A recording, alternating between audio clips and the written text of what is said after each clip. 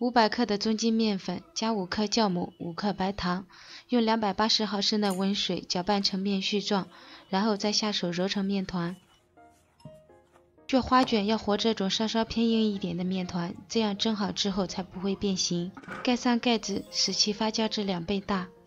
碗中放一大勺芝麻，一大勺辣椒面，一小勺盐，用刚烧的热油浇在上面，噼里啪啦的声音，芝麻也被炸熟了，非常的香。用筷子搅拌均匀，放凉备用。这个面团发酵了一个小时就已经发好了。夏天发面真的很快。手上抓一点干面粉防粘，把面团取下来放在案板上，反复揉搓，排一下里面的空气。这一步要尽量多揉一会儿，空气全部排出来，上锅之后才不会塌陷。接着搓成长条，用手按扁，再擀成长方形的薄片。把边也整理一下，这样会更加规则。把辣椒芝麻酱均匀的刷在上面，把面片对折两次，像这样就可以。然后切成稍宽一点的长条，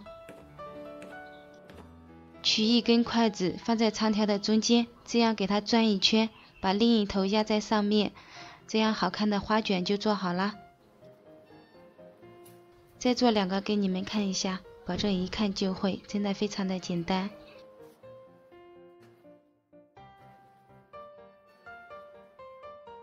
全部做好之后，放在蒸锅中，盖上盖子，再次醒发十分钟。十分钟之后，花卷的体积会明显的变大。盖上盖子，大火蒸二十分钟。关火之后焖五分钟，再打开盖子，蓬松暄软的花卷就做好啦。这样做出来的花卷好吃又好看，做法也非常的简单，层次分明，看着就非常的有食欲。这样做的花卷，我一次都能够吃三个，真的非常的好吃。如果你喜欢，也试试做吧。